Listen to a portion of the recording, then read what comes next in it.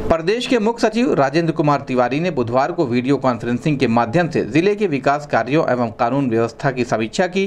गोरखपुर के एनआईसी हाल में आयोजित वीडियो कॉन्फ्रेंसिंग में मंडलायुक्त जयंत नार्लिकर, जिलाधिकारी के विजयंत पांडेयन, अपर आयुक्त प्रशासन अजय कांत सैनी सीडीओ अनुज कुमार सिंह, नगर आयुक्त अंजनी कुमार सिंह, डीपीआरओ हिमांशु शेखर ठाकुर सहित विभिन्न विभागों के अधिकारी मौजूद रहे।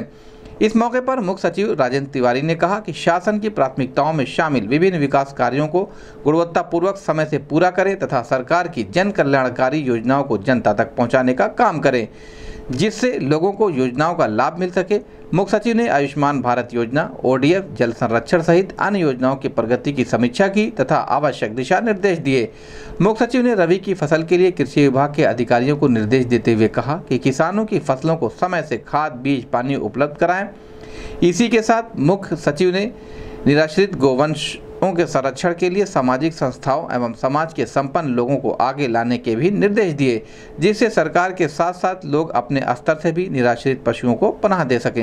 लेकिन अच्छा है दो चीज़ एक साथ बैठक नहीं है बैठक तो ग्यारह ज्योति से और इंश्योरेंस कंपनी के एमडी से बात कर रहे हैं। और को लेकर में तभी की फ़सल में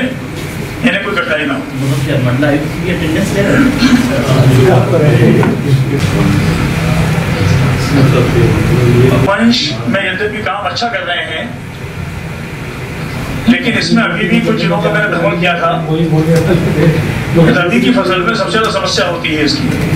और रबी की फ़सल में एक तो रबी की फ़सल बहुतायत होती है बहुत बड़े क्षेत्र में क्षेत्र में होती है। ये वहाँ भी अधिकारी बहुत आवश्यक है। इसमें आप जितनी आपके विकास के जिलों में अगर कहीं बड़ी क्षमता के गोवंश स्थल हैं वो खाली हैं। जैसे मैंने कुछ जगह देखा था कुछ जगह खाली भी थे।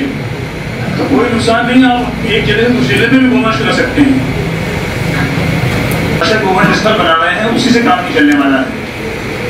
इसमें कमिश्नर्स और जिलाधिकारियों को लीडरशिप देकर के बड़े पैमाने में उन लोगों को तैयार करिए जो कि आपके संपन्न लोग हैं उनसे भी सहयोग लीजिए कि भाई। गोवंश को अपने यहाँ वो भी रखें सहयोग कीजिए एक समाज सेवा के रूप में समाज के प्रति अपने दायित्वों के रूप में चाहे वहाँ की इंडस्ट्री वाले हों चाहे बड़े किसान हों बड़े संपन्न व्यक्ति हों जो वो आपके बड़े बड़े स्कीम लगे इस पर सब चलाइए आप योजनाओं तो का इसमें आपको निश्चित प्रयास करना पड़ेगा।